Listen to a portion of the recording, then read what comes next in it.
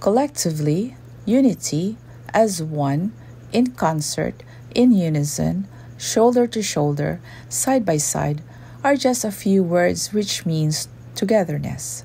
And there are words that evoke synergy, something so evident not only when we see SB19 in their awesome and explosive performances, but as reflected in their status as artists.